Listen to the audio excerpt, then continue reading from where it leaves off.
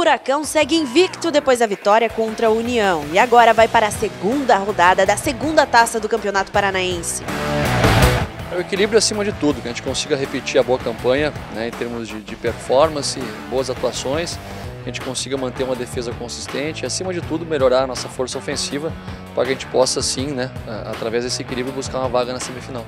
É, continua mesmo, né, o grupo é um só, independente da, da denominação para a competição que está disputando. Os atletas que estavam estão vindo aqui principal, né, alguns já estavam ambientados ao nosso tipo de treino, à nossa maneira de atuar.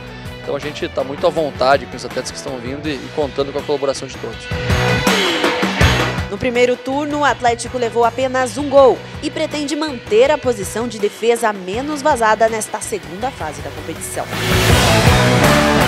E na primeira fase a gente foi a defesa menos vazada do campeonato, né?